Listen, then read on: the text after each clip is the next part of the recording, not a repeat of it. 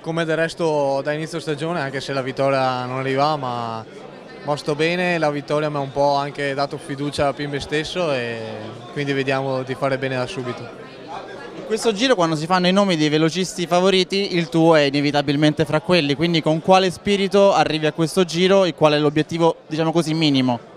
Eh, quest'anno sono eh, non ho più tensione, però so che, so che si può fare bene. L'anno scorso ho fatto quel salto di qualità vincendo due gare Pro Tour che, che mi serviva e credo di essere maturo per, per vincere una, una tappa a grande giro che mi manca. Ho anche una bella squadra, secondo me, guardando anche le altre squadre di velocisti, secondo me non hanno a parte la Giant. Quindi quindi anche e soprattutto in Turchia abbiamo lavorato bene, che abbiamo aggiustato un po' i meccanismi che forse ci mancavano, io, Max e Ferrari, quindi si può fare, io penso, un, un bel giro. Sei un velocista ma ci sono anche, anche, le tappe mosse, hai già dimostrato che ti piacciono e le puoi affrontare bene, ce ne sono tante in questo Giro d'Italia, quindi ti vedi più da volate di gruppo o da volate un po' più ristrette?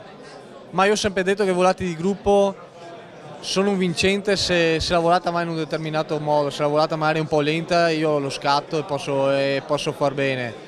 Eh, in Turchia me la sono giocata con Cavendish in due, in due, occasioni e quindi posso far bene, secondo me posso far bene qua il giro nelle, nelle volate di gruppo, però sinceramente ho sempre detto che preferisco la gara magari un po' dura o magari un gruppo da 30-40 corridori o anche, se sto bene anche di meno e quindi sì ho abbastanza chance, chance, chance di, fare, di fare bene.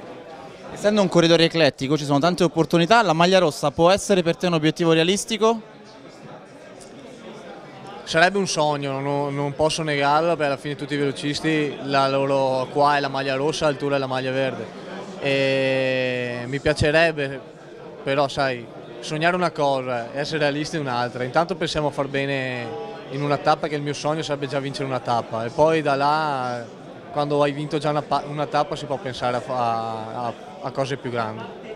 C'è una tappa in particolare che vorresti vincere?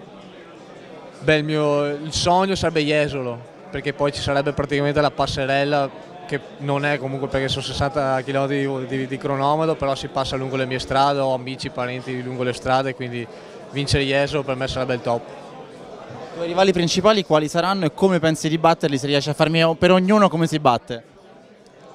Si batte arrivando, arrivando davanti sulla linea.